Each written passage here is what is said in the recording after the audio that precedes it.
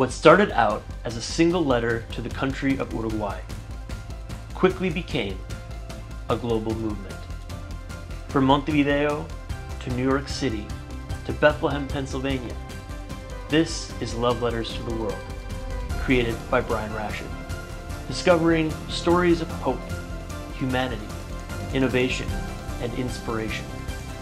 Arriving in Washington, D.C., July 2023.